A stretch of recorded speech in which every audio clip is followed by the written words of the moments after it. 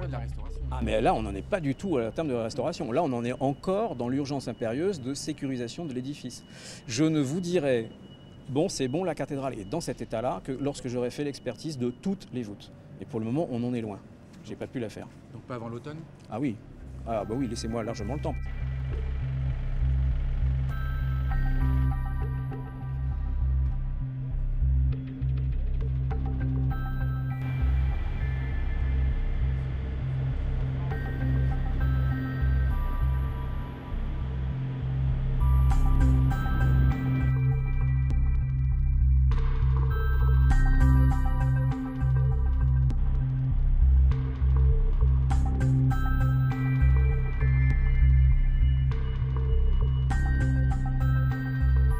Qui, lorsqu'ils construisaient leur pierre, mettaient une marque pour se faire payer.